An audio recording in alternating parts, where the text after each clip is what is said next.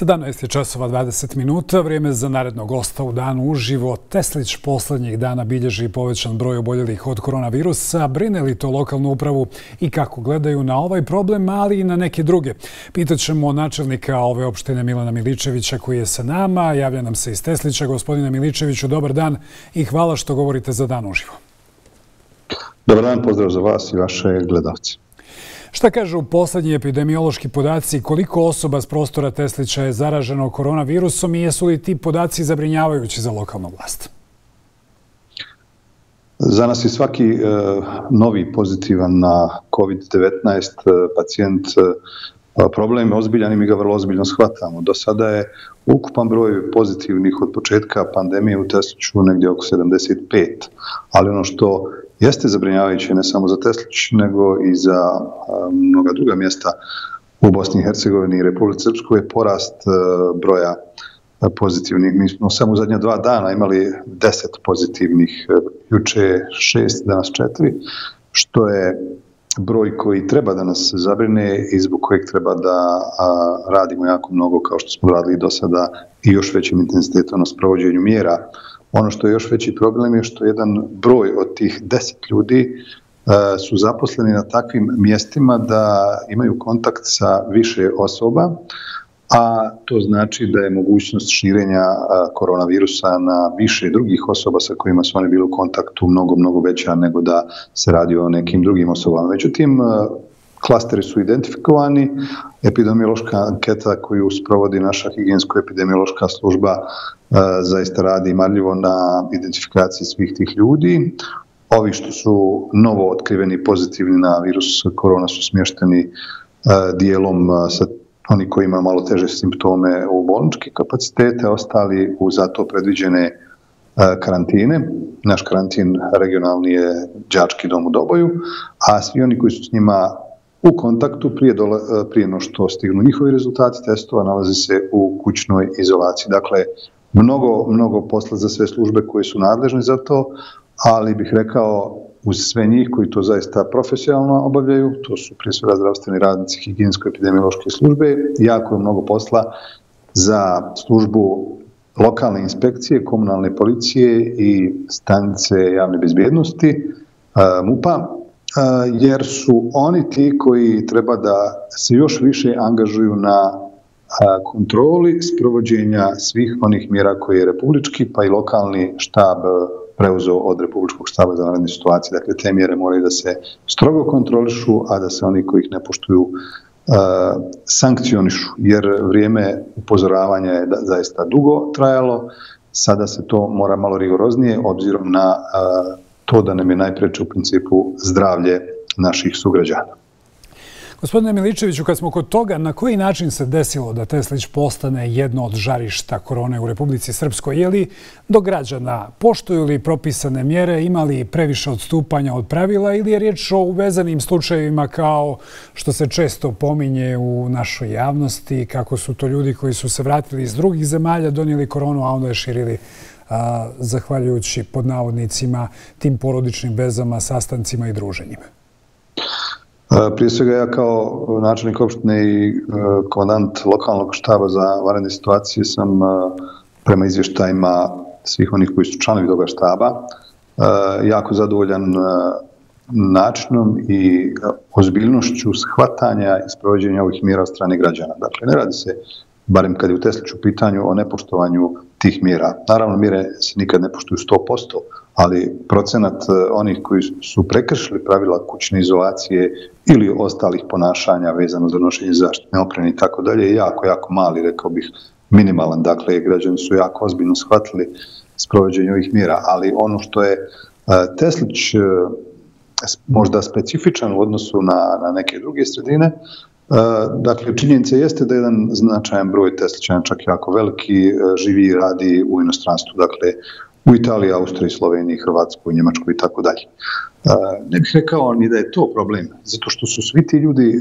koji su dolazili u Teslića, žive u ovim sredinama koje sam pomenuo, prolazili redovne procedure od graničnih prelaza preko lokalnih karantina. Kroz naš lokalni karantin je, verovali ili ne, prošlo preko 300 ljudi. Dakle, možda je to čak i najveći broj e, mještana koji je prošao kroz lokalni karantin u odnosu na većinu opština u Bosni i Hercegovini. E, to nije zbog toga što smo mi velika opština, mi imamo negdje oko 38.000 stavnika, već zbog toga što smo tu potrebu E, i potrebu e, funkcionisanja lokalnog karantina za one koji dolaze preko granice shvatili jako ozbiljno i striktno poštovali. E, mi smo imali više linija uvoza, da kako kažem pod navodnicima, virusa u našu sredinu. To su bile različite linije. Jedna linija je išla iz pravca Banja Luke, druga linija je išla iz nekih zdravstvenih ustanova, prije svega regionalne bolnice u Doboju koja je u jednom momentu bila žarište, a naši pacijenti su, kao i ostali pacijenti sa ove regije, direktno usmjereni na usluge opšte bolnice Doboj. Osoblje opšte bolnice Doboj se maksimalno trudilo da ovo žarište ugasi i mislim da su u tome uspjeli. Dakle, mnogo, mnogo, mnogo je faktora, ali e, ne bih možda istakao ni jedan posebno. Rekao bih da su svi ovi faktori koji sam nabrojao i vjerojatno neki koji nisam e, uticali na e, značajan broj pozitivnih e, na koronavirus. Također mogu reći da je naša higijensko-epidemiološka služba ozbiljno radila i e, zaista tražila jedan značajan broj testiranja. Kad više testirate, onda imate i više pozitivnih. Mislim da u nekim sredinama, po mom mišljenju i kao načelnik opštine, a i kao ljekara, jer sam po, po profesiji ljekar, da dosta sredina nisu ni testirali dovoljan broj tražili testiranje ili nisu bili u mogućnost da testiraju veliki broj ljudi tako da su i njihovi rezultati drugačiji. Mi smo testirali značajan broj ljudi jer smo imali tu mogućnost jer je naša služba to zaista radila na tome i zbog toga je i broj pozitivnih veći, ali su zato i mjere koje smo poduzimali nakon toga bile obimnije. Gospodine Miličeviću, ako se slažete da sa tog medicinskog pređemo na politički teren, ono što me posebno interesuje je je vaš komentar nedavne izjave predsjednika SNSD-a kako se pravi aranžman za Teslić poput onog u Bijeljini. Mnogi su u tome, odnosno neki su prepoznali vas, neki vaše saradnike. Imate li podatke, pregovarali Dodik sa nekim iz Tesličkog SDS-a i kako stoji situacija na tom planu? Jedina osoba s kojom bi neko mogao pregovarati u ime e, Tesličkog SDS-a je predsjednik opštinskog odbora SDS-a, gospodin Milan Kasapović ili ja kao načelnik opštine Eh, SDS-a. Dakle, pošto eh, ja jako dobro poznajem situaciju u mom opštinskom odboru, ono što znam sigurno da ni jedan ni drugi Milan ne pregovara sa Miloradom Dodikom eh, povodom bilo kakvih aranžmana. Ja sam to već komentarisao, dakle, sa mnom se takvi aranžmani ne mogu upraviti, sa mnom se takvi aranžmani nikad nisu mogli praviti, niti će se praviti. A, niti je neko pokušao da ih pravi. A Srpska demokratska stranka, opštinski odbor Teslić, također sa punom odgovornošću tvrdim takve aranžmane a, ne pravi, niti ih želi praviti. Da li se pravi aranžmani s nekim drugim političkim partijama, to ne bih ulazio. Jedini pod navodnicima aranžman koji ja kao načelnik opštine i predsjednik glavnog odbora Srpske demokratske stranke i opštinski odbor Srpske demokratske stranke može praviti je aranžman sa biračima, dakle sa našim e, stanovnicima koji smo zbirali da e, vodimo ovu lokalnu zajednicu od 2012. do danas. I to je jedini je, aranžman koji može da... Miličeviću, je li, je li ta informacija koja je objelodanjena, ta izjava gospodina Dodika, unijela nemir među članove Srpske demokratske stranke u Tesliću, je li unijela nemir među birače ili bilo uperenih prsti u određene članove? Ja nisam imao iskreno da budem osim novinarskih pitanja, nijedno pitanje koje mi je bilo ko postavio u Tesliću na tu temu, iz prostog razloga što se mi ovdje jako dobro svi poznajemo pa svi znamo ko šta misli i ko šta radi. Nije ovo velika sredina. Članstvo Srpske demokratske stranke takvo pitanje nije postavljala ni meni, ni članovima izvršnog odbora stranke, niti predsjednik opštinskog odbora. Dakle, s te strane to nije izazvalo apsolutno nikakvu buru unutar Srpske demokratske stranke, odnosno mog opštinskog odbora. Više sam dobio pitanja novinara na, to, na tu temu i mislim da je to više e, trebalo da bude pokušaj unošenja tog nemira i da je to izjava koja je više zainteresovala ove druge političke partije nego što je zainteresovala ni Srpsku demokratsku stranku u Tesliću, niti stanovnike opštine Tesliću. Dakle, nisam tu neku euforiju ili radoznalost e, ili zabrinutost e, osjetio u svom okruženju, a dnevno zaista srećem jako veliki broj ljudi. Ali je činjenica da je u prethodnom periodu bilo i tekako turbulencija unutar Srpske demokratske stranke u Tesliću. Čak su neki članovi i isključeni. Kakva je trenutno situacija? Je li opštinski odbor stabilan s obzirom da je ova godina izborna godina u Bosni i Hercegovini? Jedan broj e, članova Srpske demokratske stranke je isključen e, unazad godinu i po do dvije. Dakle, nije bilo nikakvih isključenja, niti prijedloga za isključenje bilo koga u zadnjih e, godinu i po dana. I ti ljudi koji su isključeni, u stvari su sami sebe isključeni, su prešli u SNSD ili u neke druge političke partije, tako da je, su nakladno isključeni iz evidencije, jer su prešli u drugu političku partiju. Neki od njih su bili odbornici Srpske demokratske stranke, a neki funkcioneri neke druge vrste. Uh, radilo se o jednostavnoj čistoj političkoj trgovini, uh, političkoj pijaci u kojoj neki ljudi u političkom životu Bosne i Hercegovine žele i mogu da učestvuju, a neki ne.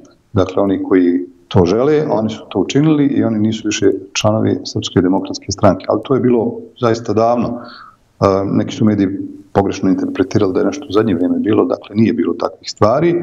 Opštinski odbor Srpske demokratske stranke u Tesliću je sigurno jedan od onih možda čak i najorganizovanijih e, opštinskih odbora u e, Srpske demokratske stranke u Republike Srpskoj i on funkcioniše sada čak rekao bih i mnogo e, bolje i stabilnije nego što je E, sa tim ljudima funkcionisao. Rekao bih da smo se na neki način oslobodili balasta e, nekih ljudi ili kako neko voli popularno reći da smo se očistili ali u ostalom na kraju pred nama jesu lokalni izbori. Lokalni izbori su uvijek e, izvor raznih vrsta političkih trgovina i turbulencija. Na kraju krajeva rezultati tih lokalnih izbora će pokazati ko koliko vrijedi i kome birači vjeruju. Kad smo kod toga, ono što želim da vas pitam i naravno očekujem konkretan odgovor, mnogo se spekuliše kako navodno ne želite biti kandidat za načelnika opštine Teslić na narednim izborima. Šta je prava istina? Kakav je vaš stav po tom pitanju? E, da li ću biti kandidat za načelnika opštine? Da. Za načelnika opštine na sljedećim izborima će biti e, prije svega moja lična odluka. Dakle, neće to biti ni politička ni stranačka, nego prije svega moja lična odluka. A nakon toga kad je budem donio, onda će to biti odluka opštinskog odbora Srpske demokratske stranke Teslić. Dakle, da li to znači da se dvoumite još uvijek? Još uvijek ta odluka nije donešena. Ona će biti donešena uh, na vrijeme, dakle u rokovima koji su predviđeni i onda uh, ćemo jasno znati ko je kandidat ako to budem ja ili ako to bude bilo ko drugi, e, maksimalno ćemo raditi da zadržimo poziciju načelnika na narednim izborima. Ne odbijam tu mogućnost, ali... Da, kažete, kažete. Kažem, ne odbijam tu mogućnost da, da ću biti kandidat, ali to zaista još nije nešto što je definisano ni u mojoj glavi, niti uh, u uh, odlukama organa Srpske demokratske stranke u Tesliću. A umeđu vremenu odbornici SDS-a su se povukli iz skupštine, e, opštinske skupštine Teslića. E, zbog čega je došlo do takvog stava i koliko to utiče na rad lokalnih organa vlasti s obzirom na cijelu situaciju u pomenutoj opštini? E, pogotovo nakon posljednjeg zasjedanja e, Skupštine opštine Teslić postalo je zaista ispod svakog nivoa dostojanstva prosječnog čovjeka učestvovati u radu te lokalne skupštine.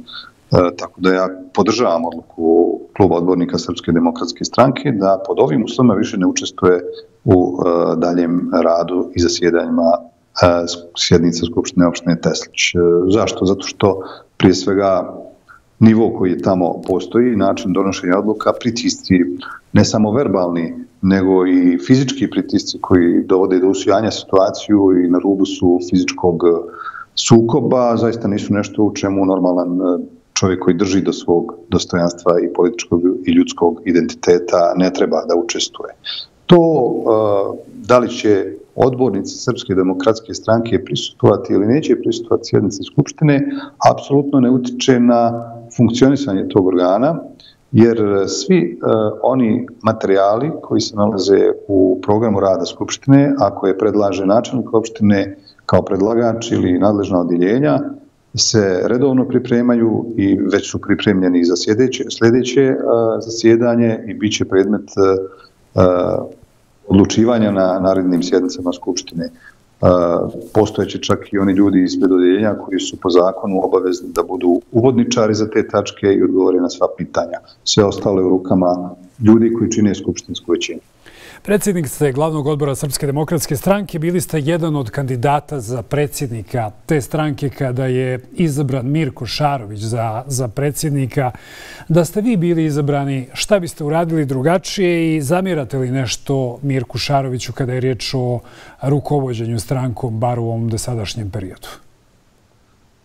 Prije svega, da sam izabran za predsjednika ili da je bilo ko drugi izabran za predsjednika, svako bi imao neki svoj stil rada moj stil rada bi bio sigurno obilježen nekim mojim ličnim pečatom i imao bih sigurno drugačijih e, rješenja, načina funkcionisanja e, stranke na terenu i tako dalje, ali to je individualni pečat koji može da donese neko ko je predsjednik stranke.